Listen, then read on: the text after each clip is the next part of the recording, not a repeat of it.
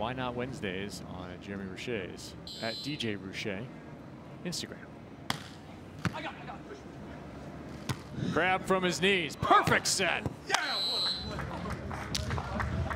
You have to love that as a hitter. Uh, my partner's on his knees. That doesn't matter. It'll be there. I'll just get my approach. Well, this, I love this. Watch. He actually sits there and he debates. Do I stand up? Nope. It's just, I'm just going to do it from right here. And Jake Gibb puts it within 12 inches of the back line.